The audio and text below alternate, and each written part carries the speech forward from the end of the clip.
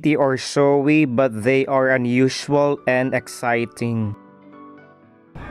Rosso peperomia does best with bright indirect light. It can do well in partial sun or with either morning or evening sun, but it does not tolerate full direct sun.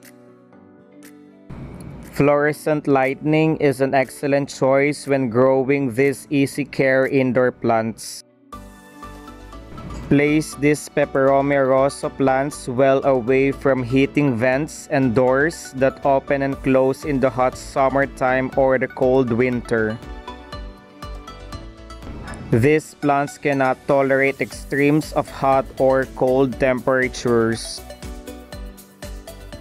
Do not allow Rosso peperomia to dry out entirely nor overwater it. Peperomia is sometimes considered a succulent and sometimes thought of as an epiphyte. Because of the plant's tiny root system and fine roots, it is a good candidate as a dish garden plant at home. Rosso is easy to propagate from cuttings similar to the African violets. Propagation of peperomia is very much like the propagation of other succulents. Since Rosso peperomia care is easy, it grows well in a small pot size, making it an excellent desktop plant or general office or public space plant. They make excellent choices as bathroom plants if your bathroom gets good natural light or if you keep a fluorescent light set up for your plant at home.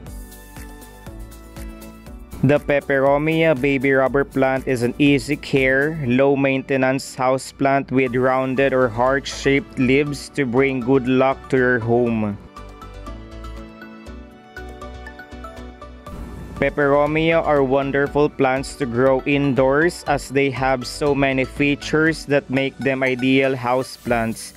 Thank you so much for all your love and support to Sir Vlogs.